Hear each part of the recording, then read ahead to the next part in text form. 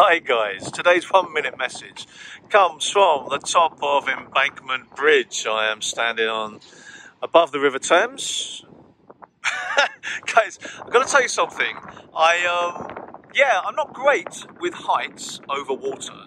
Uh, I'm okay with heights anywhere else, but over water leaves me a, a little bit dodgy. But I'm doing this for you. So there is the London Eye, uh, the most popular attraction in London, and it's going round very, very slowly. And uh, yeah, so it's supposed to be here for five years, and then it was going to go around the country, like Birmingham for five years, etc.